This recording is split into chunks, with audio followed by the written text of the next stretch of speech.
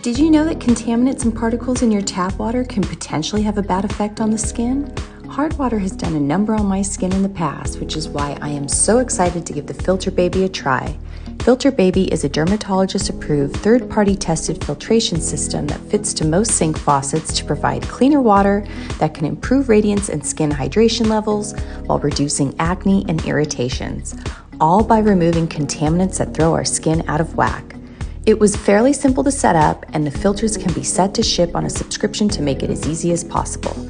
I myself have fairly dry skin and live in the desert, so I'm very excited to see how this may improve my skin. Want one of your own? Make sure to click my link and find out how you can get your own filter baby.